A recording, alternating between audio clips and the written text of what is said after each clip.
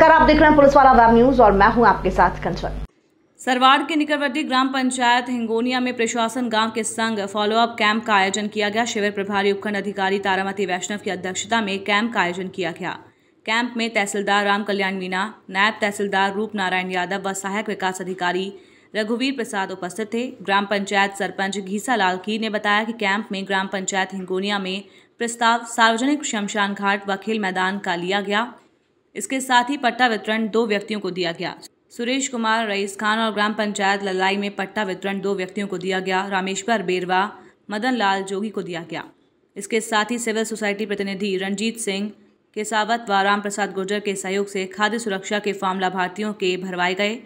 Camp में ललाई सरपंच प्रतिनिधि बलवीर सिंह राठौर, ग्राम विकास अधिकारी जयराम मीणा, पटवारी मुकेश जाट लल्लाई ग्राम विकास अधिकारी दिनेश चौधरी, पटवारी सियाराम मीणा अध्यापक बुद्धि प्रकाश शर्मा, कांग्रेस युवा नेता हितेंद्र पाराशर गोपाल वैष्णव उप सरपंच विनोद धाकड़, महावीर धाकड़, मुस्तकीम मोहम्मद आदि ग्रामवासी मौजूद रहे।